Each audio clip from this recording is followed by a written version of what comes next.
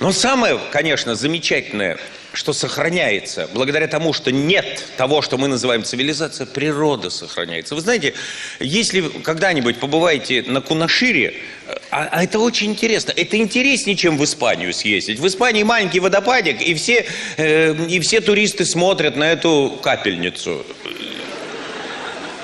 После, после Сибири Курил это все капельница в реанимационной.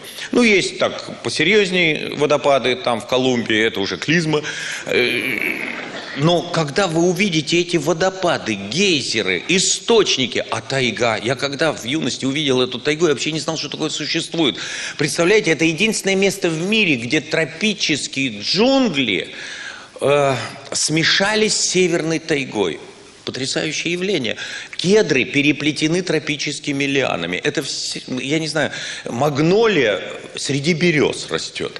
Э, Березы в бамбуке растут. Но это сало в шоколаде. Это, м, э, я не знаю, это пингвин на пальме примерно, примерно тот же эффект. Меня так поразило в 69 году то, что я увидел.